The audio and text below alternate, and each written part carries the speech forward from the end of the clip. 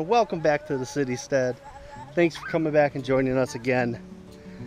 Today I just wanted to do a quick little video.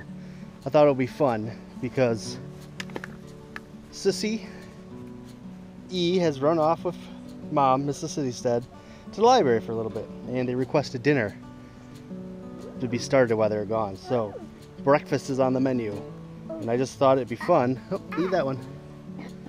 And we're gonna gather some stuff out here in the garden and I'm gonna do a video of what we're eating from the garden today.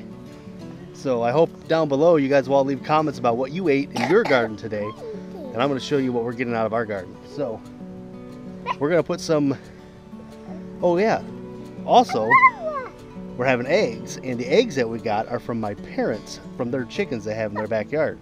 So there's that good note there. We got some backyard chicken eggs. We're gonna put some sun gold tomatoes in it. Grab a few of these tomatoes.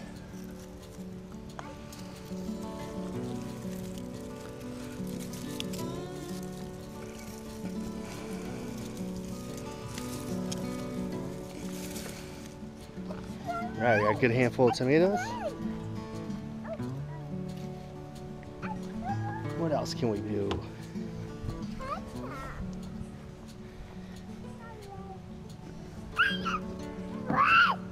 It's all wet. All right, go. Woo! A little bit wet still, a little bit dirty. There you go, that's good. Up and out we go. All right, so we got some tomato.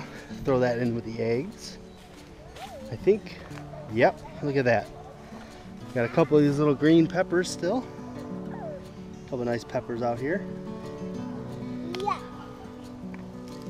What's yuck? Yeah, you don't like those ones. Yeah, don't eat those ones. No, you don't like that one. Here, you like these ones. That's your kind of pepper. Peppers. Peppers! Oh yeah. Mm-hmm. Alright, we got some tomato, we got some pepper. What else can we use to spice it up a little bit? Ooh, we got some chard. Throw some chard in there.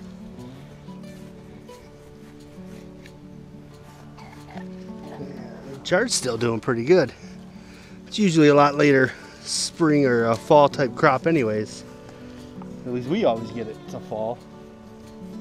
You can see it dies a lot quicker though on the outside if you don't pick it right away. So some of the stuff is dying off a little bit, but we've eaten it a few times. So we definitely got our our money's worth out of the Swiss chard seeds we planted. that whole dollar and we got a, quite a few meals out of it. All right, so we got some some Swiss chard, some peppers, and some tomatoes. And to go in our organic backyard chicken eggs. So that's pretty exciting. That should be a good little good little breakfast treat with breakfast for dinner. Some scrambled eggs, we'll have some bacon and hash browns. But I just thought it'd be fun to show you what we're actually eating out of our garden today and encourage you guys to go out there and eat something from your garden and tell me what it is you're eating today from your garden or yesterday or tomorrow or what you plan on eating. So all right we're we're gonna be out of here. Uh, if you like the videos subscribe to the channel. Give the videos the thumbs up. Give a thumbs up come back and visit us and uh, thanks for uh, stopping by. Say we're out. Say bye.